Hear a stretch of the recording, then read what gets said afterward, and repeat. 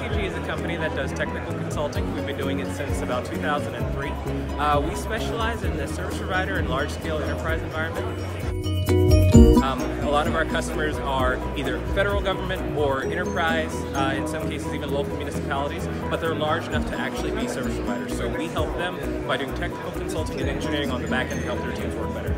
I'm sure you've heard of the acquisition of uh, BroadSoft by Cisco, and so while there are customers here who may run Cisco platforms, several of them are large enough to be service providers, and they may have their own BroadSoft platform, may have considered having their own BroadSoft platform, or just may need assistance with VoIP engineering. So we're not exclusively devoted to working only on BroadSoft platforms, uh, but we can also work on various other platforms as well. Uh, one of them being an Acme, Acme Packet Training Boot Camp, uh, Acme Oracle, I guess now, uh, boot camp class. So for session border controllers, which lots of customers have, be they enterprise or service provider, uh, they need those session border controllers to work, and they need the staff to be trained to use them effectively.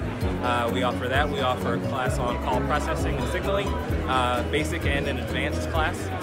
so those are just a couple of the ones that we have going. BroadSoft is going to be a part of the WebEx platform.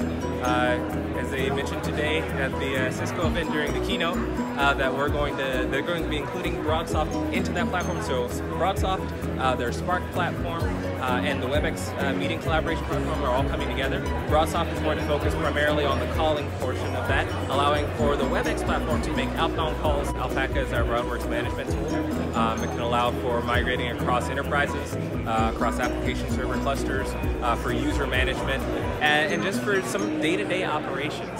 additionally, we have uh, Fraud Stopper, another product that detects for fraudulent events uh, by uh, monitoring calls on the network as they're happening. The Fraud Stopper, uh, it's a software that we've developed in-house that monitors for fraudulent calls on the network, allows for the staff uh, either in-house or ECG staff to be notified of fraud events to investigate what's happening on the platform, make that determination whether it is actual fraud or not, uh, and then respond accordingly. So whether it's to disable it or whether to investigate or share that information with other members on the team, uh, that's one of the things that FraudStopper is able to do. So ECG operates a 24 by 7 uh, NSOC, we call it. It's a Network Security Operations Center.